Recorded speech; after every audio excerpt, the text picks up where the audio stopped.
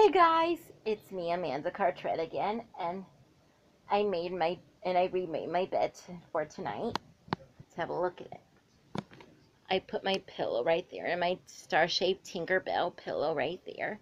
And I put my pink pillow right there, and I put in my elephant right there, and I tucked my covers under it, and then I put my pillows under it.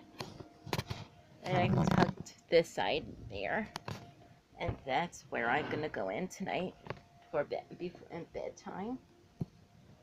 It's because I'm gonna put my pink pillow right there, but I'm gonna sleep on it every night. And it's remade it. It was because my bed was very, very was very messy for a couple of days because I remade my bed.